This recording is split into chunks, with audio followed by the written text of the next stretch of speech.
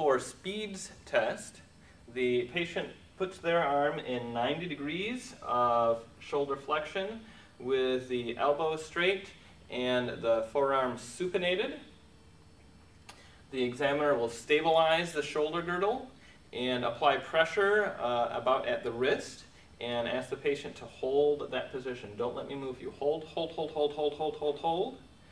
Did you feel anything with that? No. Okay.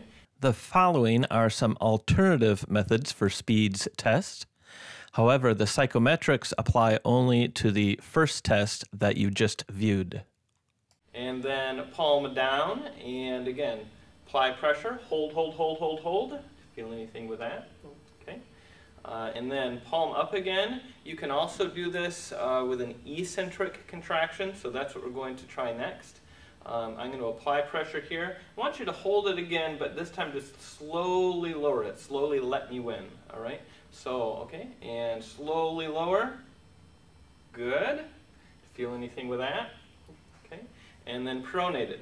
And slowly lower. Good. Feel anything with that? Okay. Uh, that would be a negative test since he didn't have any pain with this. Uh, a positive test would be if he had pain uh, right up here in the bicipital groove. And that positive test would indicate uh, the long head of the biceps tendonitis or possibly a SLAP lesion.